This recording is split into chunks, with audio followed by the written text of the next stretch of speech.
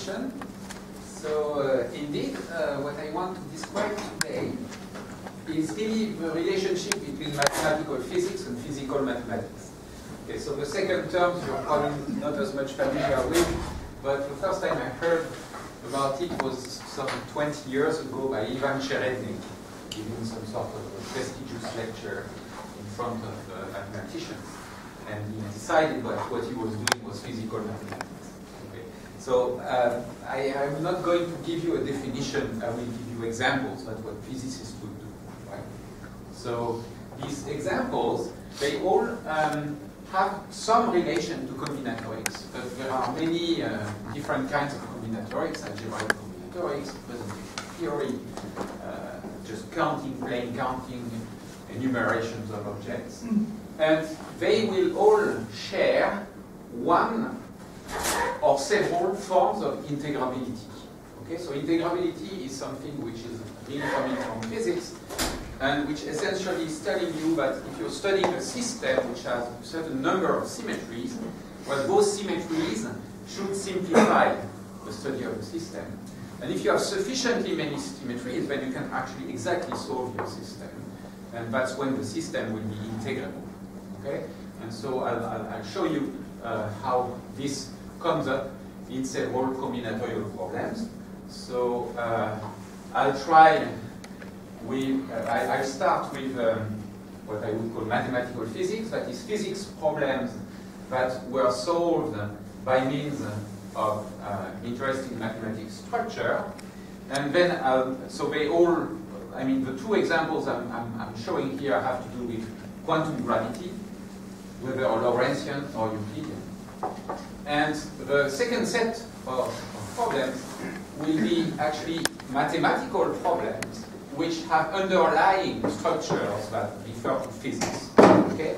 And so, uh, more precisely, these are going to be two different types of problems. One about cluster algebras, which is a sort of black box for doing uh, combinatorics, and uh, graded tensor products, which are questions in uh, representation theory. And I promise a surprise somewhere on these slides here. So uh, the surprise, okay, I, I didn't remember, but this is going to give a surprise. This will be toric Russian dots. Okay. Genus 1 Matryoshka.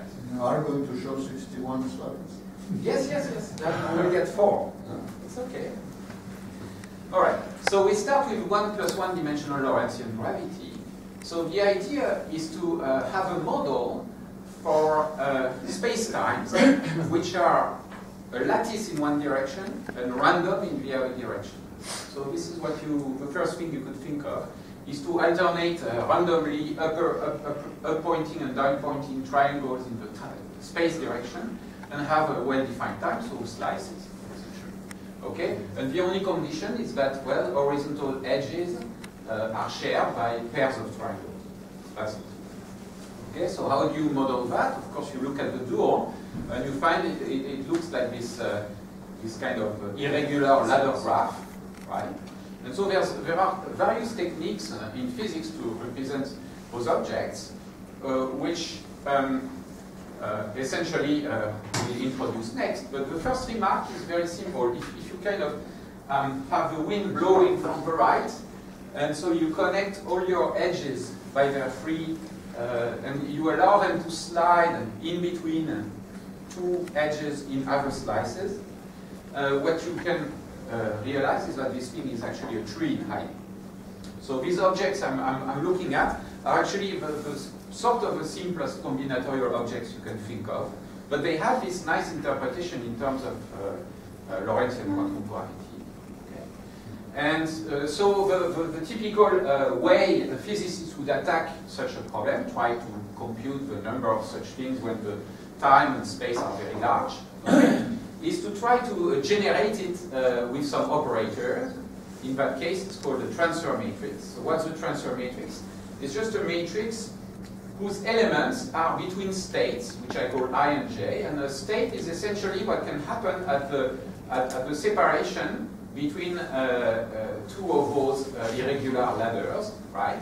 And so you're just going to label a state by the number of, of of bars in your ladders that you have below and the number of bars in the in, in upper slide. And then the transfer matrix element will be just the counting of all the possibilities of intertwining those guys. It's just combinatorial So here we have an infinite matrix, right? Semi-infinite with i and j uh, non-negative integers uh, with these entries. Okay. So let's make it more physical and more interesting at the same time and introduce a curvature weight. So instead of just counting those objects, we're going to weight them and so we want to keep uh, track of two things. So the area will be the number of triangles, so it's just the number of uh, ends of, uh, of vertical bars on, on, horizontal lines, okay? And a curvature weight is a weight that wants to make a difference uh, whether I have many, many triangles sharing the same vertex or not, okay? So whenever two consecutive triangles point in the same direction, I would put a weight A, okay? So that's the natural thing. Then my binomial number turns into this. Okay, so this is a, a standard uh, identity when you take g equals a equals 1, but this is just a binomial number, right? You just split it into two pieces. But now you have a more interesting uh, transfer matrix which have two parameters. You can consider its generating function, right? So you just uh, take the double generating function of the matrix elements. And this is what it is. It's very simple. And you will notice that the denominator is first degree in Z and W. Very simple. Okay. Well, I claim that this is probably the simplest example of integrable model you can think of. And why? So this is why. Because these matrices, T of GA, they actually form an infinite commuting family along the variety defined by a certain function phi. So you want phi of GA is phi of G prime A prime, right? And that will guarantee the commutation of these two uh, semi-infinite matrices. And this is the actual explicit function phi. Okay? So what it means, it means that there is a one-dimensional, like a curve, right, phi equals constant in GA space, right? There's a curve along which all these uh, transfer matrices commute. So it's, uh, transfer matrix is really to be thought as generating the, uh, the, the, configurations of my system, and I have now an infinite set of other objects that's, that's, that, uh, that commute with them, so they're symmetries. So I have infinite symmetries in this problem. Very simple problem of trees with some interaction, which has infinite number of symmetries. And now that I have that, well, there's one thing you know, is that when you have an infinite set of matrices that commute, the, the eigenvectors will be common to all those guys. So there's a well-defined problem of diagonalization of this T, and it can be done explicitly. So I'm not showing it here because it's a colloquium, but uh, trust me, you can actually completely solve these problems after you make this uh, very important remark, okay? And compute uh, what's called correlation physicists are interested. Okay, let me switch to my second problem, which is essentially the same problem in which uh, times and time and space are indistinguishable. So now I want really something completely random, two-dimensionally random. Okay? So instead of uh, using triangles, let's use square, right? So you have to imagine that you pass from a, a, a regular square lattice to a random square lattice. And the random square lattice is something like this. So uh, you, you allow for, for two things. First thing is to have excess or too little curvature at each point. That is no longer four squares will be adjacent to a single vertex. There could be less or there could be more, right? So that's curvature defects. But you can also allow for some more interesting topology of your space, and so allow for holes in your surface. But you're, so now you're tessellating a surface with squares, or things that are homotopic to squares, and uh, possibly wrapping uh, around the handles well, a homogeneous surface. Then the quantum gravity question, and I didn't mention it before, but it was the same question, is not to just look at these spaces, but to actually consider maps on those spaces to target spaces, which are going to describe matter on those spaces and interactions. Okay, so the tool, the, the, physics tool that was developed in order to understand these two-dimensional quantum gravity problems were matrix models. And the reason why is uh, essentially integrals, but instead of integrating over scalar numbers, you integrate over matrices. And the reason why is that uh, there's a nice theory of how you should do these matrix integrals, and it's completely pictorial. And it, it, it sort of uh, replaces the question of computing an integral by the question of drawing graphs and putting weights to them and adding them up. Okay? And so these graphs turn out to be the, the, the graph expansions that you need for computing matrix models. Now these matrix models, they enjoy another form of integrability which has nothing to do, well, doesn't look at all like the form of integrability I showed you before. And I'll show you how it shows up in a very specific question you can ask about these random spaces or random tessellations, which is understand uh, what happens with geodesic distance. So you want to sort of fix two points on a, on a surface, which is discretized by quadrangulations, and then you sum over all possible quadrangulations, and you kind of compute the average geodesic distance between these two points over all these triangulations, okay, or quadrangulations something like this. So that's done by uh, means of a, a, mathematical object, which is called a map. And if you're looking just at genus zero surfaces, these are called planar maps. And this is an example of a planar map. Right? So it has vertices, edges, and faces, okay, because it's planar, so there's a well-defined notion of a face. Okay? And uh, this is uh, up to uh, smooth deformations, up to homotopy equivalence. And what matters, of course, is the cyclic order of what happens around each vertex, because that cannot be changed, right? You cannot reflect. The homotopy will not uh, reflect Okay, so let's say we look at planar maps which are connected. Tetravalent means the valence is 4 at each vertex, and with two legs, that is, there are two particular vertices which are univalent. Okay, so let's look at that and try to say something about it. So the first thing is that there is a, a, an interesting quantity that we could try to measure in such a random map with two legs, which is the geodesic distance between the two legs. Okay, and that geodesic distance is the minimal number of edges you would have to cross in a path going from one to the other. Generic path, I'm not going through the vertices. Here it's two, okay, because I have to cross here and cross here. Okay? So now there's a way of understanding this much better which is to first understand, you remember our uh, random triangulations in the uh, Lorentzian gravity case were trees in hiding, okay? Well, I claim that the random maps are also trees in hiding. Now, you need to work a little bit more. First, you have to buy a really good pair of scissors, okay?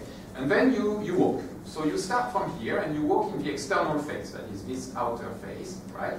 And you, work, uh, you, you walk uh, clockwise, right? And whenever you see an edge which separates you from, from, a, from a face of the map, you just cut it. Okay? Now, the, the rule will be, I cannot cut anything out. That is, I can cut, but I cannot disconnect my map. It has to remain connected. Okay? So I am here, I'm walking around, walking around, I cut here, I cut here, etc. I cut, and then I'm back to my starting point. But now that I have cut, the map I'm looking at is different right? It has univalent vertices wherever I have cut, and it still has faces inside. What do I do? I start again. It's an algorithm, right? And it will stop.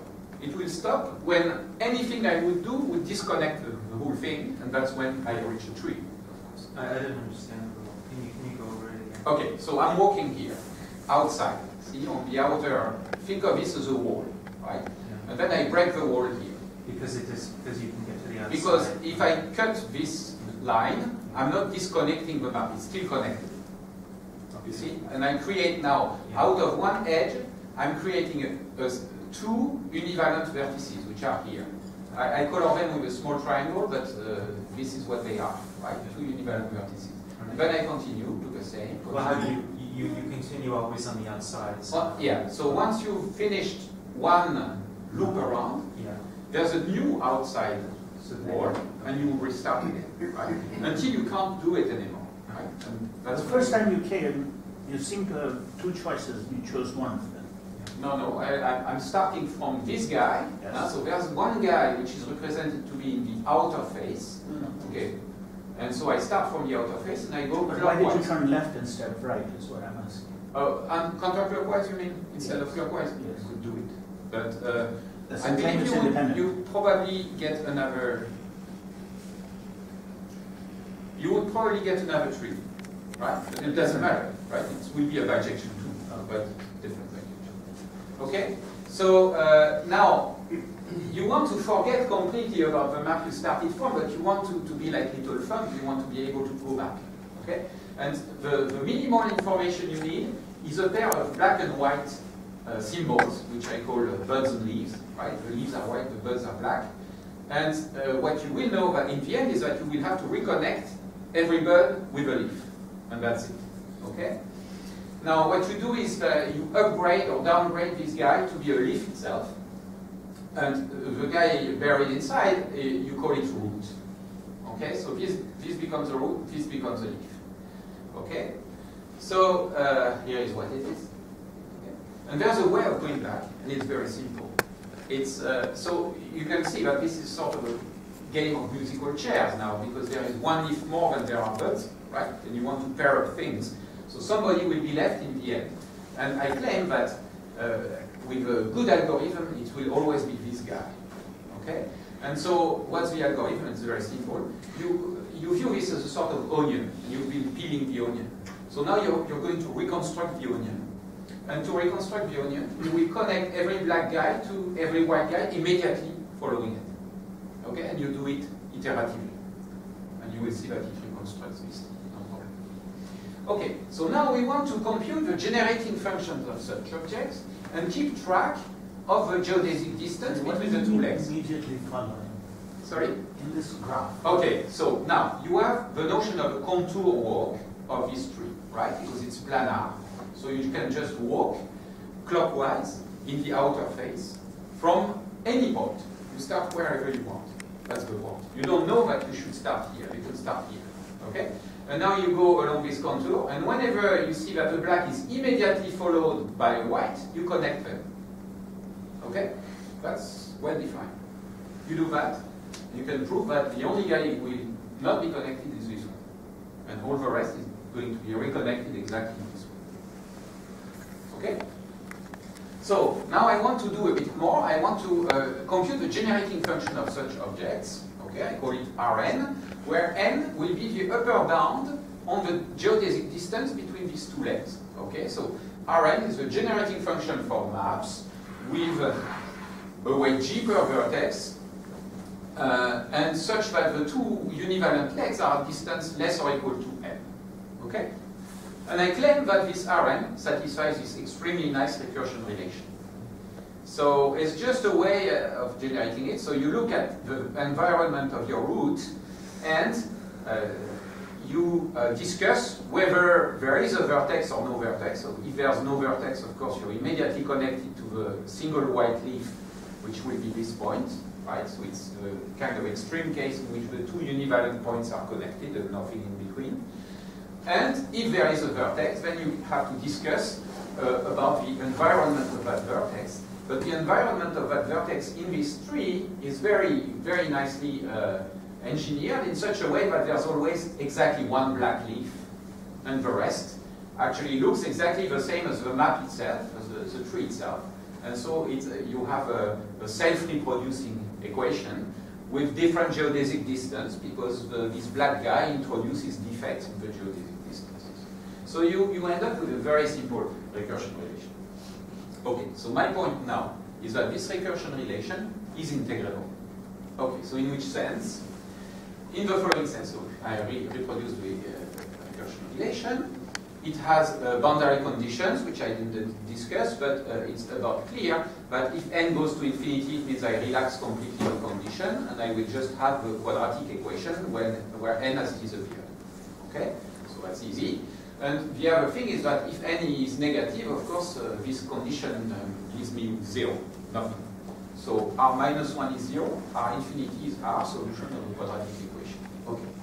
So the claim is the following. It's a discrete integrable equation in, uh, if you think of n as being the time. So this is a recursion relation which relates time n minus 1, n, and n plus 1, right? And there is actually a function of two consecutive times only, so instead of three, only two. So it's an integral of motion, right? Think of this as differential of second order and this differential of first order, okay?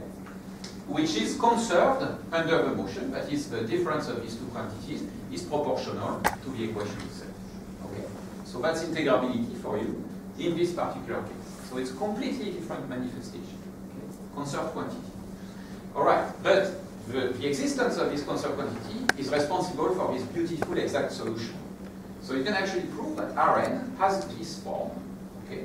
So for those of you who know uh, something about integrable systems and tau functions, this is like a discrete second derivative of a tau function, essentially, of a log of a tau function.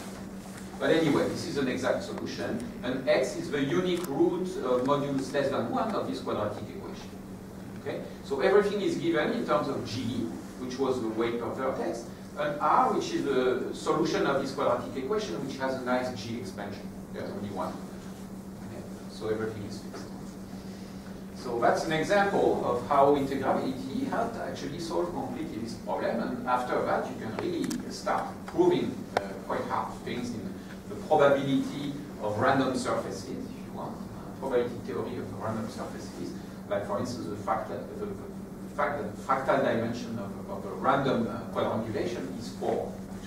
Does integrability here in some sense mean the same thing as it did in the previous one? Well, it's supposed to uh, uh, be uh, telling you something about the symmetries of the problem. Okay? Here it's a bit less clear, but I can point to you uh, at least the conservation law. The conservation law is in this definition here that we define some black and white uh, uh, leaves, and there's always one more white than black. No matter uh, at which uh, level you stop in your algorithm.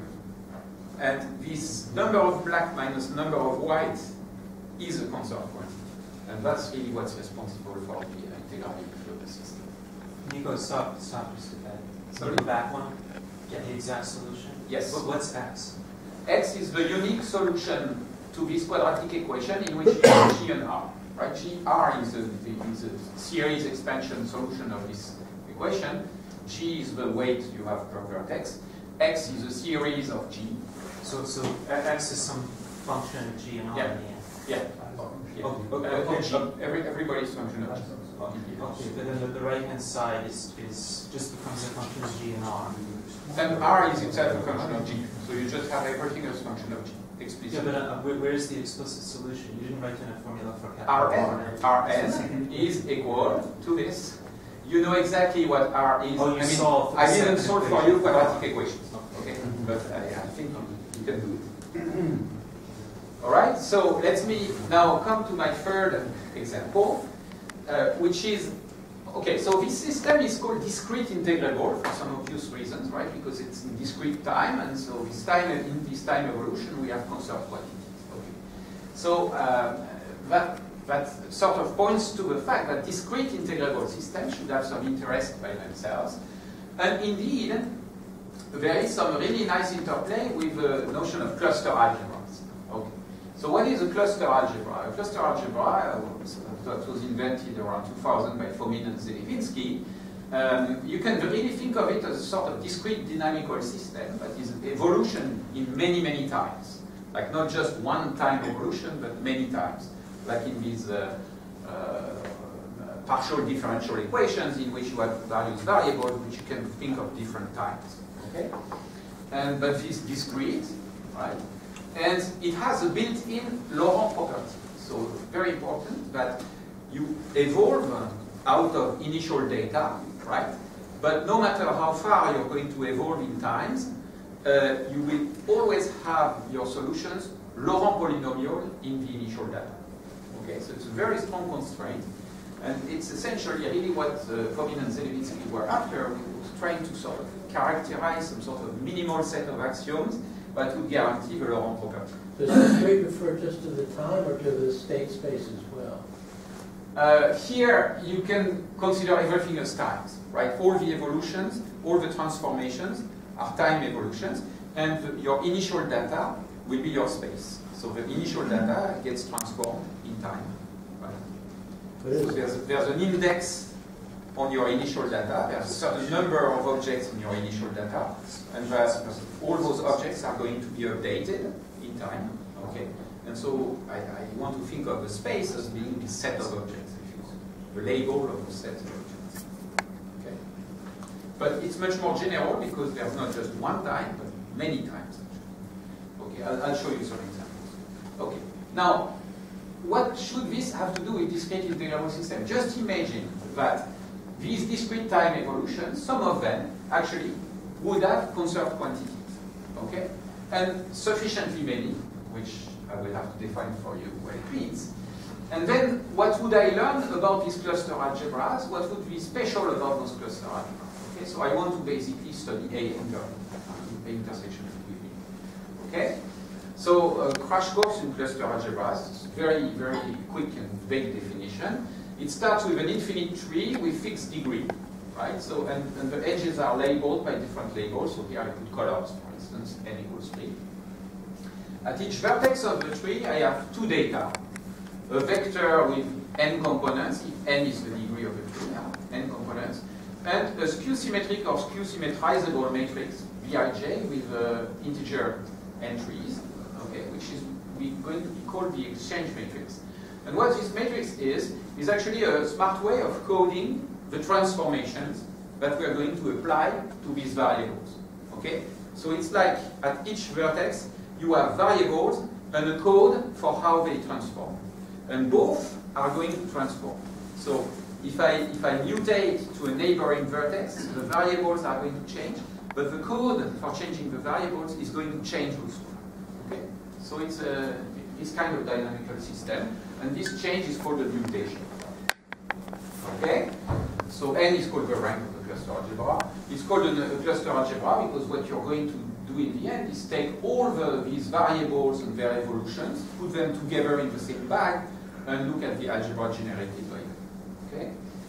So now, this mutation structure, of course there are rules I have to explain, I'm not going to explain them, but Fomin and Zelevinsky came with this minimal set of rules that guarantee this Laurent property, which means that any, at any vertex in my tree, I can express the variables x in terms of the variables at another vertex in the tree as Laurent polynomials. And a remarkable fact happened is that something they hadn't uh, anticipated, which is that the coefficients of these Laurent polynomials turn out to be positive integers. Turn out to be? Yeah, positive integers. So they must count something. Okay, combinatorics, clearly. So the mutation rule only depends on the color of the edge? Yes, absolutely. Yeah, and, and of course on the on the code. Huh? So on, on the B matrix, right? Because at each No, but the rule vertex, takes as an input x and b. Yeah. But the rule itself only but the yeah, the rule borrows from, from B to know exactly how things are going to change. So B is really the code of the transformation. Okay? But at each vertex you have n ways of transforming. Okay?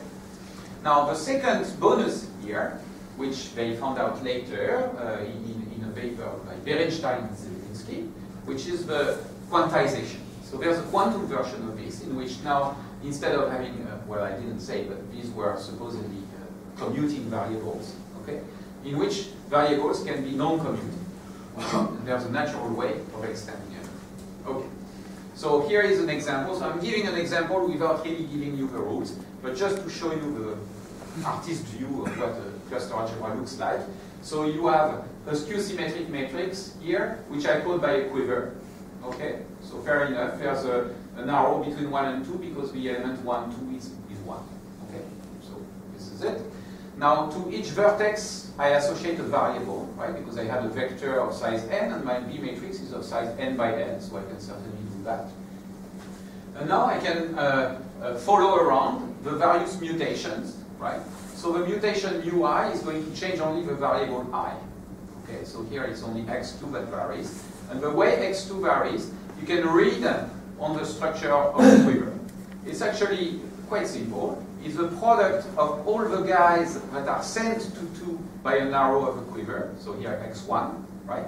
Plus the product of all the guys that I attained from 2 by arrows of the quiver, so here x3, divided by the value at x2.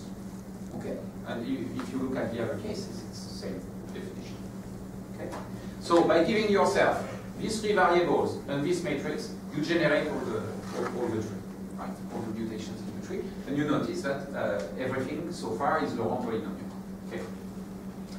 Applications. So this is a, a slide that uh, I have had to cut here because it becomes too big.